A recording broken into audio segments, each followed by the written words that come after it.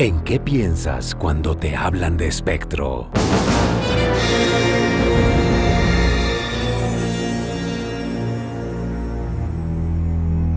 Y si te preguntan por espectro radioeléctrico, ¿qué se te ocurre?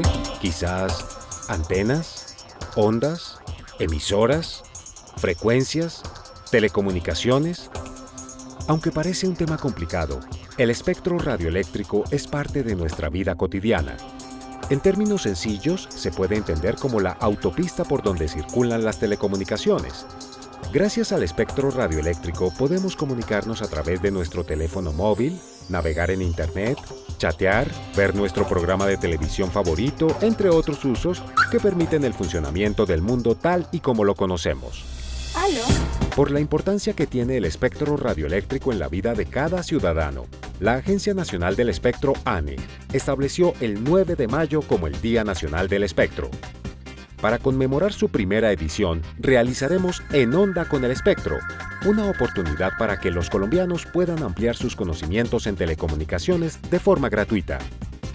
La capacitación se realizará de forma presencial en 14 centros de capacitación ubicados en universidades e instituciones que están en onda con el espectro.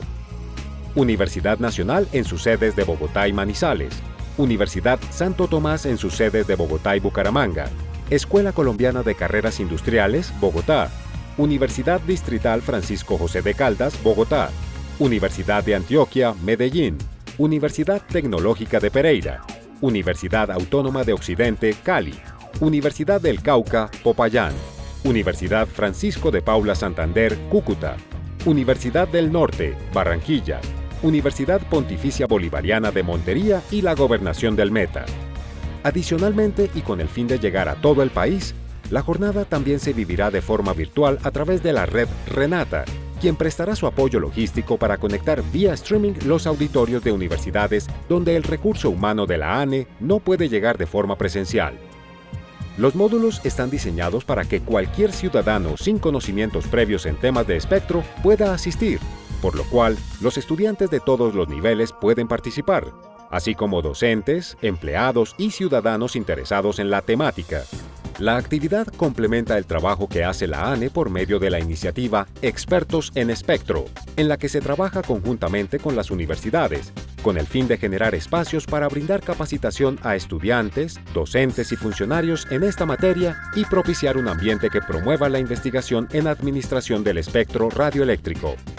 A través de esta iniciativa, la ANE ha capacitado más de 3.000 colombianos, el 70% de la academia y el 30% personas vinculadas al sector de telecomunicaciones, así como alcaldías y secretarías de planeación de diferentes municipios del país. Detrás de esta jornada está el esfuerzo de un equipo de trabajo comprometido con el desarrollo del país a través de la formación de capital humano, una necesidad sentida del sector.